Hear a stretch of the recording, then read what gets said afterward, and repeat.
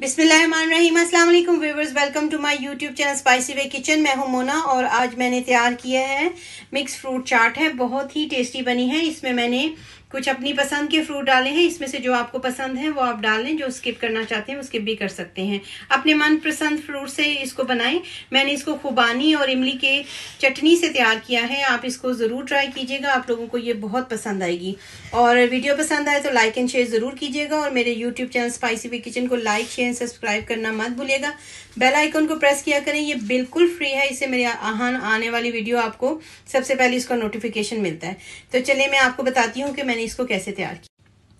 खट्टी मीठी फ्रूट चाट बनाने के लिए जो फ्रूट्स मैंने लिए हैं, उसमें से मैंने अंगूर लिया है, ग्रीन और रेड वाला, और इनको मैंने बीच में से ऐसे कट कर लिया है। ये मुट्ठी मुट्ठी भर दोनों हैं। इसके साथ हाफ़ पाइन है, दो मीडियम साइज़ के आड़ू हैं, और एक जो है वो मीडियम साइज़ का खरबूजा है, दो मीडियम साइज़ के आम हैं। और एक अनार था जिसको मैंने हाफ़ करके उसके दाने निकाले हुए, ये आप कम या ज़्यादा कर सकते हैं। और इन सारे फ्रूट्स को मैंने ऐसे क्यूब्स की शक्ल में काट के रखा हुआ है। इसके साथ दो चार केले हैं और दो सेब हैं, इनको मैं एंड में काटूँगी, वरना ये ब्लैक हो जाते हैं। और इसकी खुबानी की चटनी बनाने के लिए जो चीज़ें मुझे चाहिए, मैंने एक कप शुगर ली है 250 ग्राम मेरे पास ये फ्रेश खुबानी है। अगर आपके पास ड्राई है तो आप उसको रात भर भिगो लें पानी में, सुबह वो सॉफ्ट हो जाएगी। उसकी हमने हल्की सी प्योरे बनानी है। और इसके साथ हाफ़ कप इमली की चटनी है, इसमें कोई शुगर नहीं, कोई मसाला नहीं है। वन टीस्पून चाट मसाला है, फ्रूट चाट मसाला जो होता है, आप दूसरा भी इस्तेमाल कर सकते हैं। ये थोड़े से तीन से चार टेबल स्पून किशमिश है और थ्री तीन से चार टेबल स्पून जो है वो बादाम मैंने जरा थोड़े से मोटे मोटे काट के रखे हुए बिल्कुल बारीक नहीं है। और इसके साथ एक कप खजूरे हैं, जिन्हें मैंने ऐसे छोटे छोटे ये देखें, ये भी मैंने क्यूब्स की शक्ल में काट के रखे हुए हैं। तो ये हम, ये सारी चीज़ें हैं जिनको हम मज़ेदार सी एक बिल्कुल डिलिशियस सी चाट तैयार करेंगे। सबसे पहले हम खुबानी की चटनी को तैयार करेंगे। ये मैंने पानी लिया है, हाफ़ कप पानी है। तो मैं इसके अंदर ये खुमानी जो है, वो देखिए कितनी सॉफ्ट है ये। तो अगर आपके पास ड्राई है तो आप उसको रात भर भिगो लें और उसको सुबह उसकी इसी तरह ही ग्राइंडर में डाल के तो प्योरे बना लें। तो मैं इसकी प्योरे बना लें।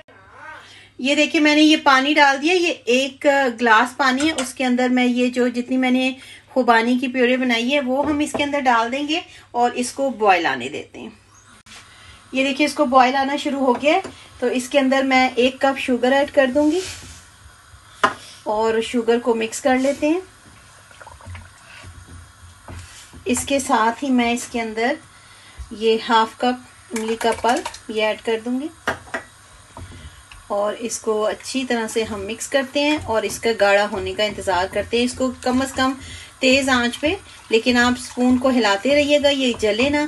तेज़ आँच पे इसको इतना गाढ़ा कर लें कि ये जो है ना आ, पानी पानी ख़त्म हो जाए। ये देखिए कितनी ज़बरदस्त सी ये गाढ़ी हो गई है, चटनी। खुबानी की चटनी जो हमने रेडी किया अब इस स्टेज पे मैं इसके अंदर half teaspoon chaat masala डाल दूँगी। ये फ्रूट चाट मसाला ही है। अगर आप दूसरा डालना चाहते हैं, ज़्यादा इसको करारा बनाना चाहते हैं तो आप वो डाल सकते हैं। तो इसको इसको अच्छी तरह से मिक्स कर लेंगे। ये देखें, ये बिल्कुल अब रेडी हो गई है। तो अब इसको मैं ठंडा कर लेती हूँ। क्योंकि फ्रूट में हम गरम गरम चटनी तो नहीं डाल सकते फ्रूट सारा ख़राब हो जाएगा। तो इसको ठंडा करेंगे तो ये मज़ीद गाढ़ी होगी। अब ये देखिए ये हमारी मज़ेदार सी खुबानी और इमली की चटनी बिल्कुल रेडी है। ये देखिए इस तरह, इस, इतनी गाढ़ी मैंने ये रखी। मैंने आपको बताया था कि ठंडी होकर मज़ीद गाढ़ी होगी। तो अब हम ऐसे करते हैं कि जितने हमने फ्रूट्स काटे हुए हैं, उनको हम प्याले में डाल लेते हैं। तो ये अनार थोड़ा सा हम रखेंगे ऊपर गार्निशिंग के लिए ज़रा अच्छा लगता है कलरफुल सा तो बाकी ये जो फ्रूट्स हैं अंगूर आम खरबूजा पाइनएप्पल और आड़ू इन सारे फ्रूट्स को हम प्याले में डाल देंगे। अब ये सेब भी मैंने इसके अंदर डाल दिया है। सेब को देख लें मैंने एंड में काटा है ताकि ये काला ना हो जाए। इसके साथ ही मैं इसके ऊपर एक स्पून ये कंडेंस मिल्क डालूँगी। ये। अगर आपको मीठा ज़्यादा करना है तो आप इसमें ज़्यादा भी डाल सकते हैं शुगर भी डाल सकते हैं। तो इन चीज़ों को मिक्स कर लेते हैं कंडेंस मिल्क के साथ।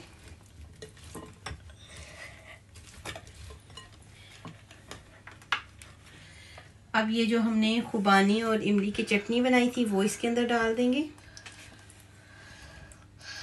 ये देखिए, आपको इसके अंदर मैं जब पोर कर रही हूँ तो आपको अंदाज़ा हो जाएगा कि इस तरह रनिंग रखनी है। ये बहुत ज़्यादा गाढ़ी है ये देखिए ऐसे। इसको अब अच्छी तरह से मिक्स कर लेते हैं। अब ये इसके अंदर खजूरें ऐड कर देंगे सारी। मैंने ये जो छोटी छोटी काट के रखी हुई हैं, खजूरों को जब आप पानी में भी डालें तो काटने लगे तो ज़रूर ख्याल करें कि उनके अंदर वो जो है ना, थोड़ा सा कीड़ा भी लगा होता है। तो मैंने अभी साफ़ किए तो दो तीन खजूरें जो हैं वो ख़राब निकली हैं। तो केला और स्ट्रॉबेरी जो है, वो हम एंड में डालेंगे। अब इसके ऊपर हाफ़ टी स्पून ये फ्रूट चाट है। तो अगर आप ज़्यादा डालना चाहते हैं अपनी टेस्ट के मुताबिक तो आप इसको ज़्यादा भी कर सकते हैं। अब ये मैंने किशमिश थोड़ी सी रखी हुई है, वो डाल देंगे। अब ये बादाम, आप इनको बॉईल करके छिलका उतार के भी डाल सकते हैं। मुझे ऐसे ही पसंद है, इसलिए मैं इनको ऐसे ही ऐड कर रही हूँ। तो अब ये केले जो हैं वो एंड में ऐड करेंगे क्योंकि केले वैसे ही नरम होते हैं तो वो ज़्यादा मिक्सिंग से ज़्यादा नरम हो जाएँगे। तो केलों को ज़रा डाल के तो आराम से इनकी मिक्सिंग करेंगे, साथ ही ये स्ट्रॉबेरीज डाल देंगे। इसमें से जो फ्रूट आपको पसंद है वो ऐड कर लें, जो नहीं पसंद, उसको आप स्किप भी कर सकते। ये ले फ्रेंड्स ये हमारी बहुत ही मज़ेदार सी फ्रूट चाट बिल्कुल रेडी है, जिसे मैंने खुबानी और इमली के पल्प से तैयार किया है। आप इसे ज़रूर बनाइएगा। आपके गेस्ट को भी बहुत अच्छी लगेगी और आप लोगों को भी बहुत पसंद आएगी।